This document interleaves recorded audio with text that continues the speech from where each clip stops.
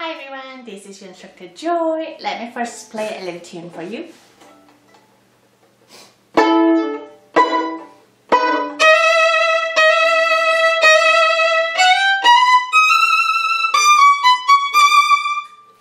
This is a little excerpt from Beethoven's Kreutzer Sonata. Um, a subscriber was subscriber was wondering about this particular technique of pizzicato and arco and how one could switch back and forth quickly. Thank you very much for your nice question and thank you all for your continued support. Please check out also my other videos at steemit.com and please remember to upvote. Um, so let me explain to you what pizzicato is. Pizzicato is the one that we use our finger and we pluck the note like that. And arco is the one that we go back to using the bow like normal. Sometimes in the sheet music you say pizz, P-I-Z, Z and a little dot that indicate asking us to pluck using fingers. It could be, um, eh, there are many ways of doing pizzicato. So for the very first time pizzicato player, it's easier just to grab the bow like that and just stick a finger and then just pluck that one. When you do that, try not to plug where the rosin is. Go rather near fingerboard where there's no rosin. That way you don't get sticky finger. And it's easier to plug as well here than there. Yeah, and sounds nicer. Another, well, two more ways of doing pizzicato is if it's if you're pizzic, uh, if you're doing a lot of pizzicatos one after the other, sometimes we rest our thumb on the corner of the fingerboard. That way we can kind of rest and then we can keep pluck that one. You see that? Like that. So on the corner and then you pluck that. But sometimes we have to switch to arco when the music says, meaning that you have to go back to using the bow.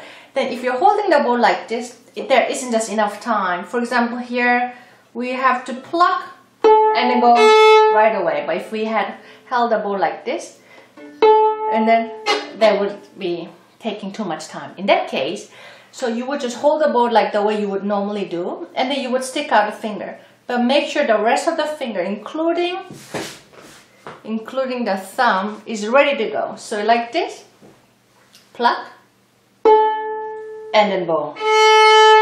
Again. Here. So some people use middle fingers because it's a stronger finger. Um, some people switch middle finger or index finger.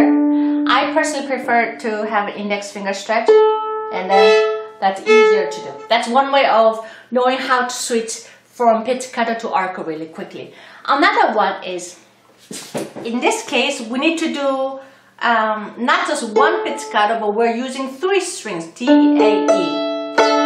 I think I gotta that's another thing if you pizzicato if you do a lot of pizzicatos, the string gets plucked a lot and then it could go out of tune. so make sure um, that you can tune in between if you can. Anyhow, so because it's such a loud um, note, we have to do three, three notes. So when you do chords, pizzicato, we do it a little bigger, like a diagonal, like this. Yeah?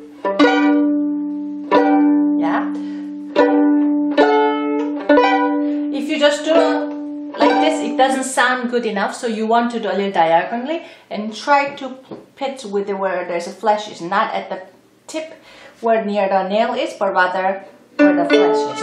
And this particular one, let's go back to the Beethoven Kreutzer Sonata. Here, because we have to do forte and pizzicato, you want to do not only diagonal, but almost make a circle like this.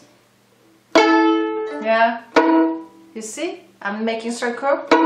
And here, you do circle motion gives that one again. Circle. So the circling and changing to arco, that should be somewhat in mo one motion. Try not to uh, do one pizzicato mm, like this. And that doesn't work. That's already late it's you should breathe as though in one impulse. So pizzicato impulse should carry on to the arco, to the bowing, like this. Again, like that, yeah? So um, pizzicato can be very interesting and as dramatic as beautiful, but make sure you um, pluck loud enough. Don't be shy to pluck really loud. It may sound loud to your ears, but remember, the audience should be able to hear your pizzicato as well. Yeah? Thank you for watching. I hope this video was helpful and hope to see you again. Bye-bye.